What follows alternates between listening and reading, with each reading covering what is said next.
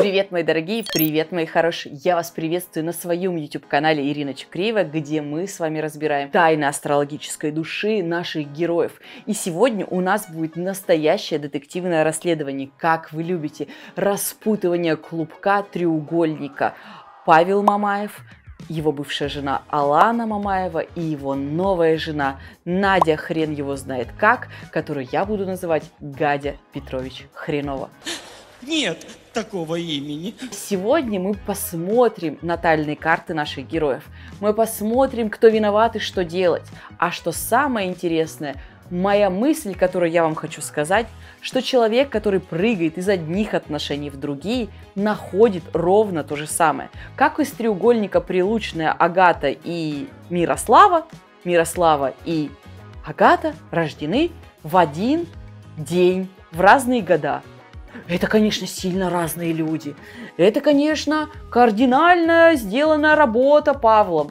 И здесь ровно такая же история. Ну что, мои любимые сплетники, готовы погрузиться в мир драм богатых людей? Ну или не очень богатых, да ладно. Тут как бы история такая.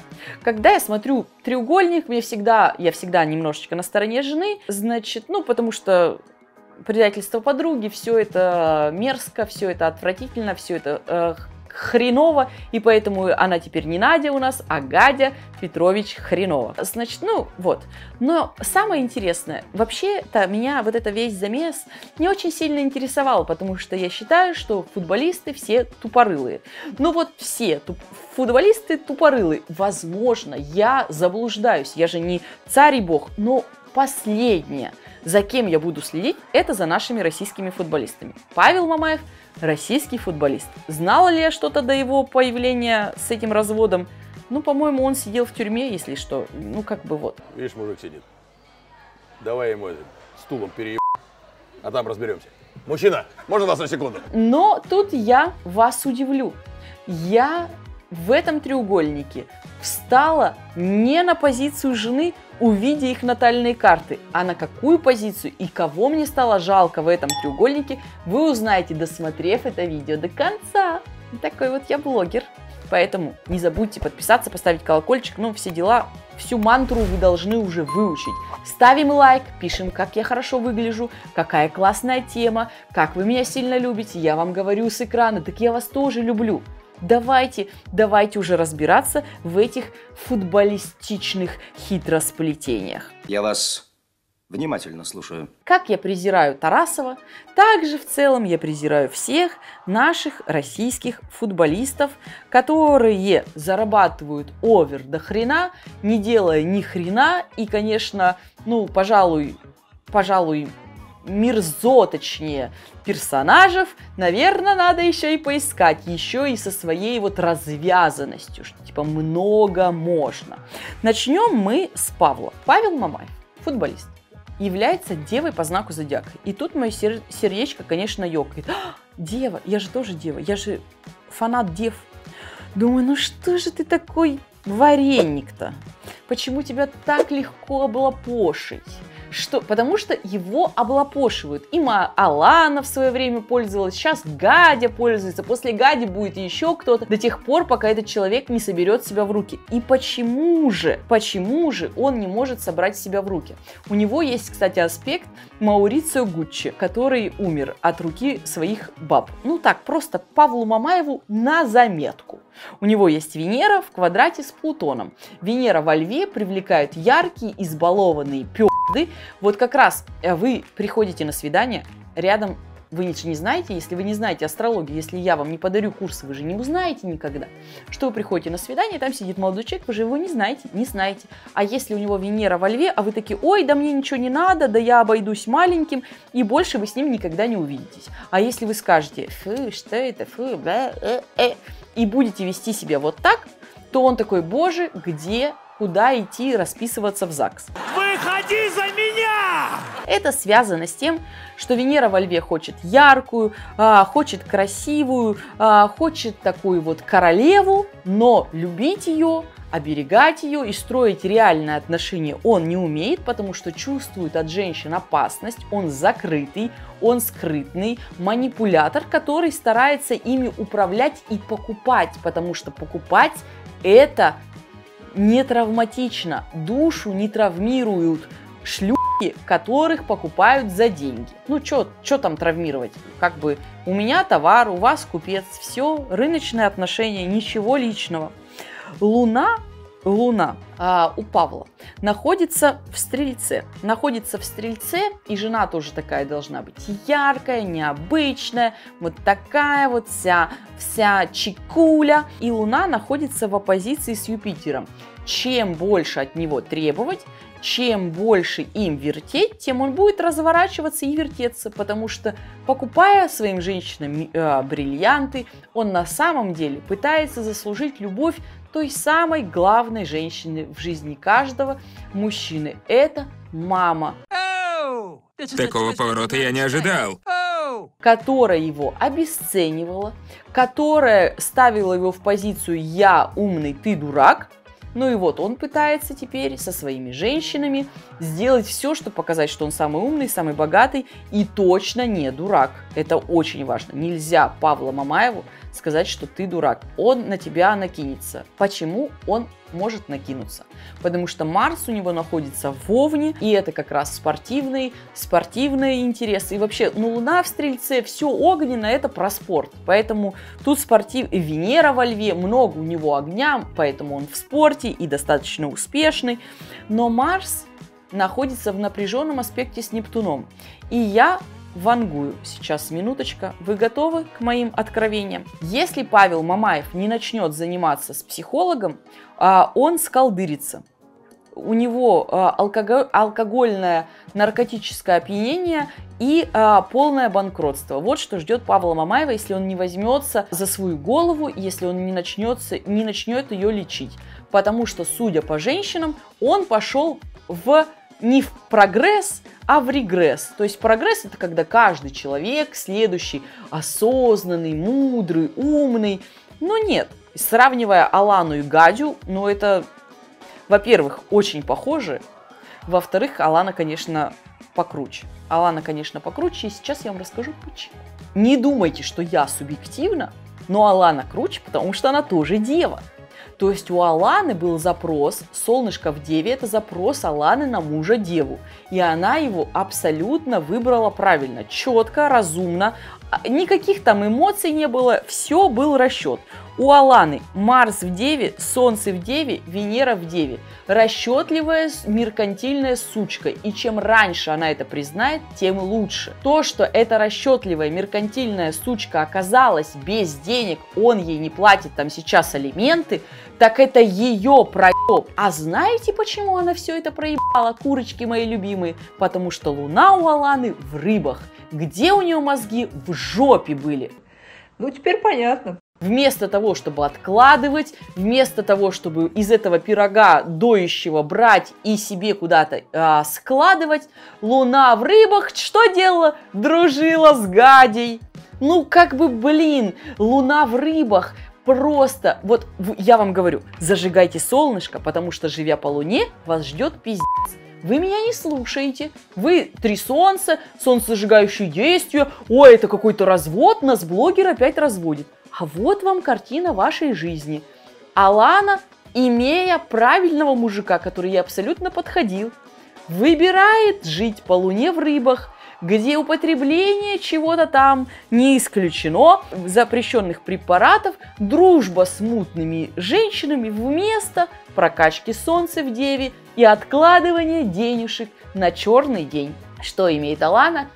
хуй, да, нихуя. Вот и вы будете иметь то же самое, если не будете зажигать солнце. Если не верите мне, посмотрите на жизнь а, знаменитых, популярных людей в нашей российской а, инфосфере. Итак, Луна в рыбах. Та-да-да-да-дан! Как вы думаете, где у Гади Петрович хренова луна? Верно, тоже в рыбах.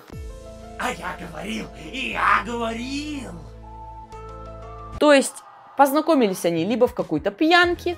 Вообще, я думаю так. Так как Алана достаточно девчонка-то вообще, я думаю, сейчас, первая гипотеза. Развод нужен был Алане.